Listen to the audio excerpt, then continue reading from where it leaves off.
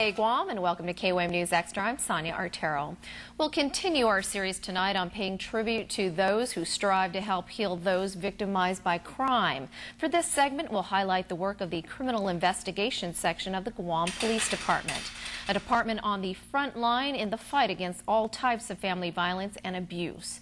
The fact is, they are the first to reach a victim and therefore are the first to counsel them about victim services. Special, Special Agent John Perez has has been with the Guam Police Department for nearly a decade and has lectured about family violence and sex crimes as well as training new officers on the topic. He is joined by the supervisor of the Victims Assistance Unit at GPD, Mr. Joseph Bamba. Gentlemen, thank you very much for coming on. Thank you for having us. It's our pleasure to have you here.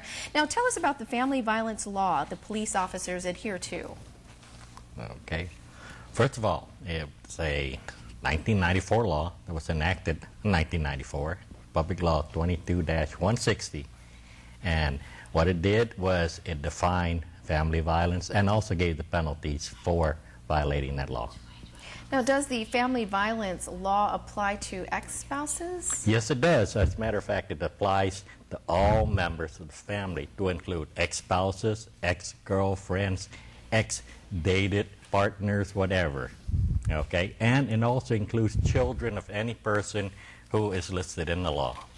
Now, what happens when a police officer responds to a residence alleged to have committed an act of family violence? Take us through the steps so that we could better understand and appreciate how your day is day in and day out. Well, uh, like any call that the Guam police receives, um, the officer first investigates if a crime, uh, what's going on, if a crime has been committed or not.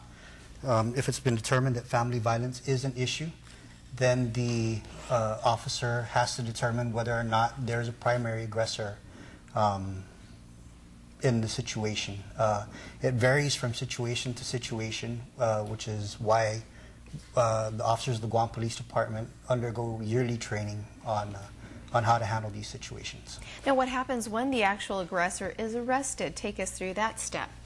Um, if it's been determined that there is a primary aggressor, then under the 1998 version of the Guam Family Violence Act, uh, the Guam police no longer has discretion as to whether or not to arrest the um, offender.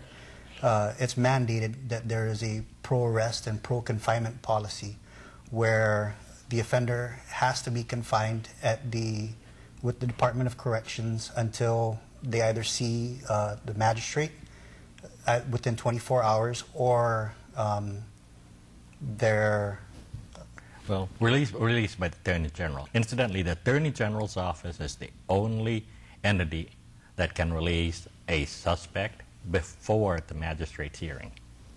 Exactly what kind of services do you provide victims of family violence? Okay, now, I can answer that. First of all, when our patrol officers respond to the scene, if they determine that the victim needs services, they will contact our office, whether it be day or night. Okay, they will respond to the scene if need be, and we will conduct a, an assessment and determine exactly what the victim needs. If they need uh, transporting from the scene to a shelter, we shall do that also. What are some of the challenges that face you when responding to these crimes? Uh, I'd have to say that the biggest challenge is culture. Um, with a lot of the migrant population of Guam coming in, uh, they're not well versed on Guam's fi uh, family violence law, which, by the way, is one of the strictest and one of the most stringent laws which focus on the victim's rights. Give us an example of what you just pointed out. Uh, say you're called to the scene of um, a Palauan's house and there's, there's domestic violence. A lot of times you're faced with having to explain the laws, explain the, the difficulties that face you when you arrive on the scene. Uh, well, in the past, it was obviously language, but a couple of the service organizations in the past have gotten together and have translated what the victim's rights are, uh, as well as your Miranda rights for different uh, migrant cultures, such as um, those from the FSM, from Palau, uh, Chinese, Japanese, uh, and am I missing any more here? Oh, we're, we're, pretty, we're pretty much Koreans also. Oh, so you literally carry around like a cheat sheet, if you will, to provide them so that they better understand their rights.